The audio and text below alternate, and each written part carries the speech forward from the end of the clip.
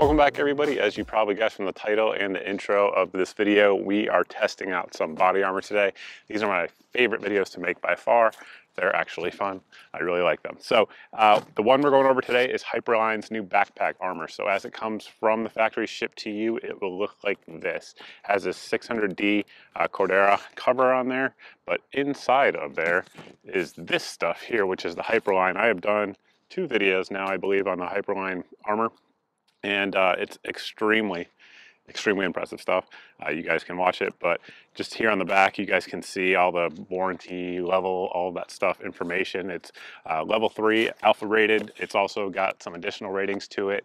And the thing that makes it different than other UHW MPE type of armor out there is how lightweight it is and how thin it is. So this thing right here is insanely thin and weighs virtually nothing. It weighs, I would say, half of what most competitive offerings weigh, which is important, particularly in backpack armor. So if you're carrying a backpack a lot, uh, you don't want a heavy weight in there. So uh, basically the way it is designed to work is that you take your backpack, which we have here, and it says here wear, wear face, uh, this side toward body. It really doesn't matter. I'm just gonna tell you that, but that's what they tell you. So anyway, so you're gonna want this side here with the Safe Life logo facing out, and you're just gonna put it in your backpack, depending on what kind of backpack you have uh, and what compartment it will go in, zip it up, and you're good to go. So uh, whether it's for you who wears a backpack, um, or it's for a child, a grandson, a whatever, um, who you want to protect um, in a situation where they may be forcibly disarmed or just because of the state, uh, they don't, they're not allowed to legally defend themselves. So one way to do it is with some armor. So uh, for those who don't know, this should stop everything up to uh, 357 Magnum 44 Magnum and uh, other stuff below that. We're gonna test that today and I think we're gonna push it a little bit farther, but we shall see. If you're new here again, we kill all armor. All of it will die one way or another and uh, this one's about to die as well. Let's get started.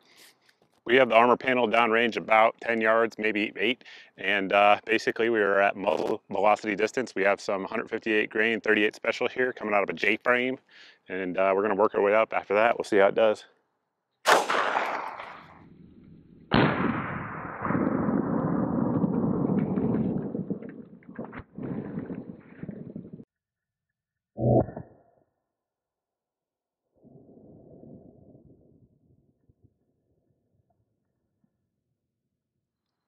As y'all saw with the slow-mo, we center punched that one right there and out the back, absolutely no pass through, just some dirt on there. We're gonna keep going. Up next, we have some 124 grain minute ammunitions coming out of my AREX Delta, so nine millimeter, and uh, we'll see how she does. Let's check it out.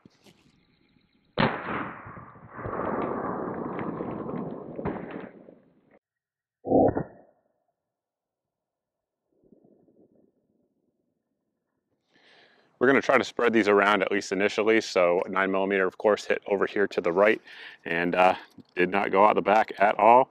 It hit with more force though, as you guys saw. Uh, so we're gonna keep upping the game. Speaking of upping the game, we have my uh, UMP 45 here with some 185 grain Remington hollow points. So going fast for 45, plus we have the added barrel length. And uh, it's, it's probably gonna jump a little. Check it out.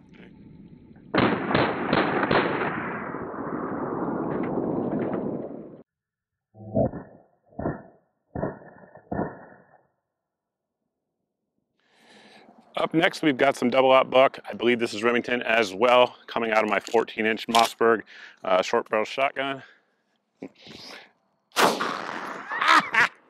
Let's check it out.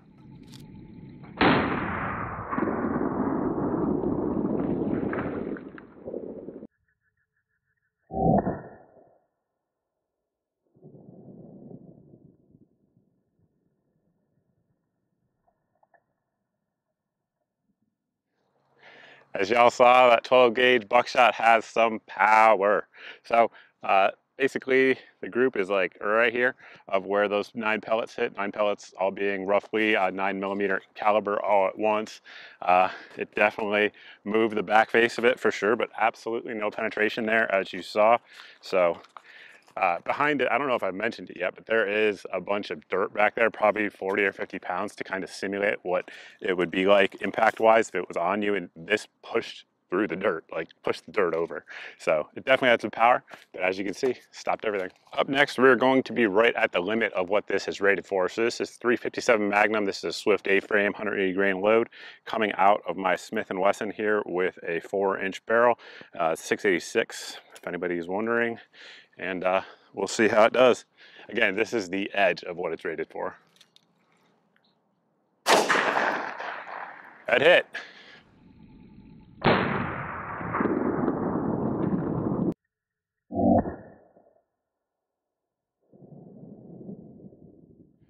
Hopefully the slow-mo picked up the actual impact spot, but I'm guessing it was somewhere in here, and that's just based on the backface deformation here. Um, but as you can see, it is just fine, even after all those hits, taking a full house 357 Magnum load. So doing really well. And again, weighs next to nothing. Let's keep going. Well, since it passed everything it's rated for, we could end the test there, but that's not fun at all. So we're gonna push beyond it. So we have some 460 Smith & Wesson Magnum 300 grain XTP jacket hollow points from the folks at Underwood. So anybody who knows Underwood knows they're smoking. And obviously we have a full barrel here on our Smith & Wesson XVR, so it's gonna be even faster. And of course, this is one of the fastest uh, handgun rounds on the market, period. And just power, just raw, raw power. It is not rated for this. I want to make sure everyone understands that. All right, let's see.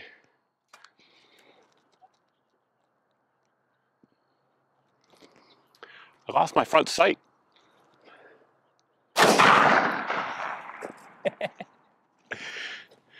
Seriously, my front sight came off. What's up with that?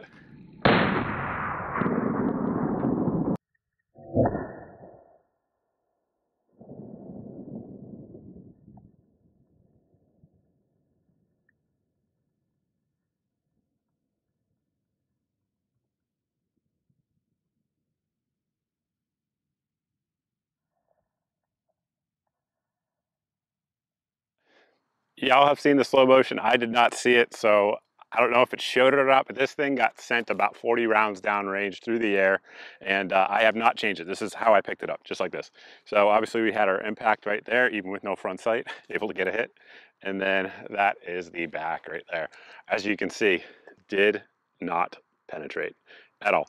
So you might have some, some trauma uh, just from the blunt force impact, but man, stopped it. Let's keep going once again, we are going with a round that this is absolutely not rated for. Uh, we have some Federal 5.7 40 grain from Two Shot Gun Club. Appreciate that. Coming out of my PSA 5.7 Rock.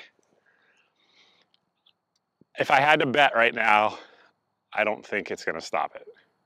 But let me know down below in the comments what you guys think. Moment of truth is upon us. Let's see, it might have.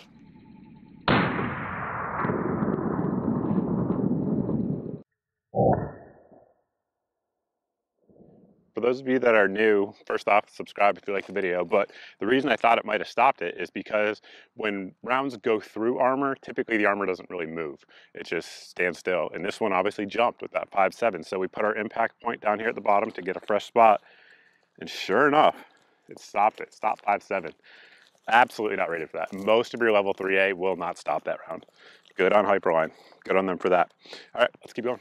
This one I really don't think it's going to stop, but we'll find out. I didn't think it was going to stop that last one. So 220 grain Remington 300 blackout subsonics coming out of my 10.3 inch barreled Daniel Defense, and uh, we'll see.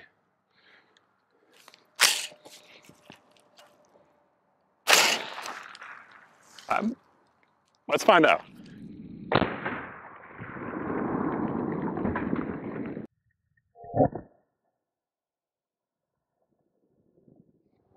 I haven't taken it apart to see yet, but basically I wanted to get a fresh spot, so I shot down there. And looking at the back, we have a tear, which indicates it might have went through. But man, I don't know. It's rarely do I take the armor actually out in these type of videos, but I genuinely. There's a black helicopter hovering. That's not your imagination.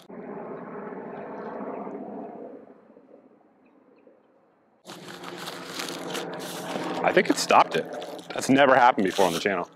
It did. Holy crap. It absolutely did. And I think, yep, that's the bullet. And I bet it's super hot. But I'm going to touch it because I'm an idiot. But yeah, it absolutely stopped it. Again, that has never happened on the channel. Every single level 3 alpha that I've ever tested. That's crazy. Don't expect that. It's not. so yeah, it stopped it. That's that's the best performance I've ever seen. Impressive. Impressive. I've done a lot of armor tests here on the channel, probably 50 or 60 at this point.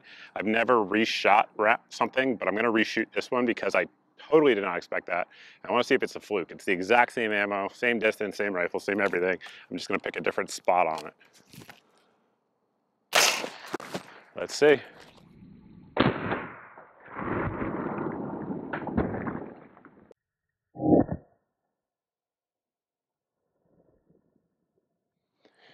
Once again, wanted a clean spot, went down here, as you guys just saw. It stopped it. I mean, that's insane. It's not supposed to do that, but it did. Open it up. Yep, there's the bullet yet again, right there. You guys can probably see it. That's crazy. Crazy talk. Again, super impressive. But let's keep going. Admittedly, I was not prepared for this at all and didn't think I brought enough ammo to actually go through it, but I did. Uh, I have 120 grain that I found in my bag, 300 blackout, so it's an all copper bullet. It's a hollow point, but I mean, it absolutely should not stop a supersonic 300 blackout. Who knows at this point? Let's check it out.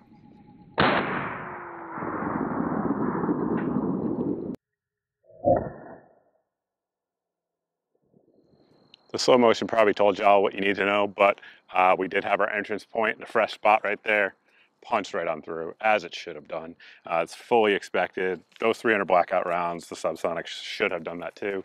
Uh, again, big credit to the armor. But we're gonna test a couple other things here because this is backpack armor.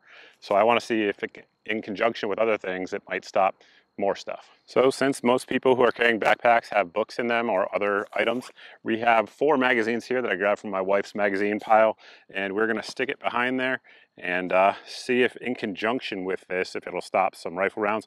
I genuinely have no idea if it will. No idea. We're all gonna learn together. All right, guys, we have the magazines behind the armor and some um, Red Army Standard 7.62 by 39 coming out of my GF3 AK from PSA and uh, we'll see what it'll do. I, again, I have no idea. Let's check it out.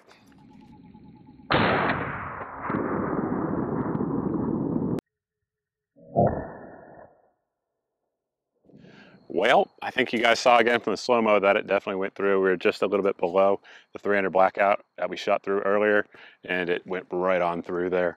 Um, so I'm gonna try something a little different, just see, who knows? Keep trying.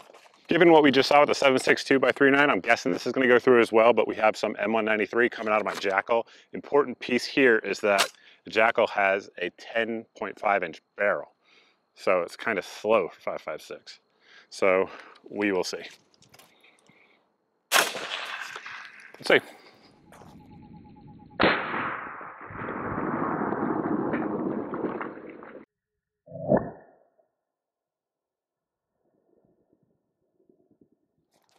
We have moved locations, which in a Mr. Guns and Gear armor video lets you know that the plate, or armor rather, is sufficiently dead. And uh, at this point, I'm gonna call it. So uh, that last M193 round there that you guys saw uh, kind of came out right here. One big difference though, you can tell, obviously this is a 7.62 round, and then right here we had our 5.56. So it was absolutely trying to stop it. I'd be willing to bet with another stack of magazines that is this thick, like another one layered on top of it, it would have stopped that 5.56 round, the 7.60 39. Robbing out. But getting back to the actual armor itself, I think uh, most of you who have watched the video up until this point realize I'm genuinely impressed by it. Um, exceptional performance. Uh, for any level three rated armor, obviously it's stab proof as well, cut proof, but exceptional performance and uh, literally it's the best ever here on the channel.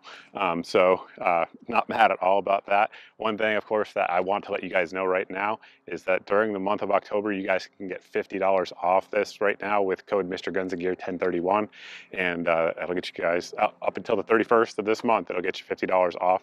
Um, and right now this particular the Hyperline version of this panel is coming in at 299 so for you guys $249 Again, um, it's performed exceptionally well. It, it, really is all you need to know and really all I can say about it. And it's super lightweight, which is awesome. So with that, I think we'll basically close the video out. If you guys have any questions, you can post them down below in the comments section. Uh, you can also post them at my various social media sites here um, or that I you know, post that and respond to. If you're not following me at any of them, go ahead and do so. Uh, additionally, if you like this video, as we mentioned, and you're not subscribed, go ahead and hit subscribe because we do armor testing videos all the time here on the channel. Additionally, if uh, you guys aren't seeing two to four videos a week uh, here on the channel and you are subscribed, it's because you're being censored. So uh, in order to prevent that censorship, you guys can sign up for my email at the website here on your screen. This email goes out at most once a month and it just has all of the videos since the previous month's email in there. So that way you're not being censored. Uh, your eyes rather aren't being censored from my content. Uh, additionally, this thing goes on sale. Any of the guns that you guys saw featured today go on sale. Any of the ammo go on sale. Any of the optics, any of that stuff go on sale. Uh, you guys can be notified by my daily deals email here. So every day the email goes out. It has six or seven of the best deals that we find around the internet. So that way you guys can save yourself uh, some money, hopefully, and save yourself some time. Because if it's in the email, I've done the price comparisons already, and it's the cheapest I know of on the internet on that particular day. So with that, that's all I got for you. Thanks for watching. I appreciate it. Look forward to seeing everybody in the next video.